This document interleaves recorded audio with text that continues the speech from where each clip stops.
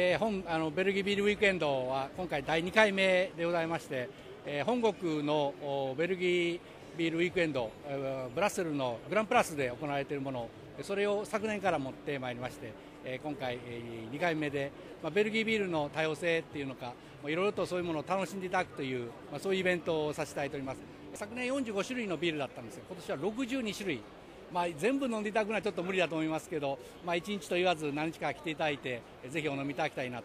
えー全体の特にベルギーの場合は料理も楽しんでいただけております、えービールと料理という組み合わせも含めまして、えーまあ、いろんなベルギー料理っていうのも楽しんでいただけるんじゃないかなというふうに思います。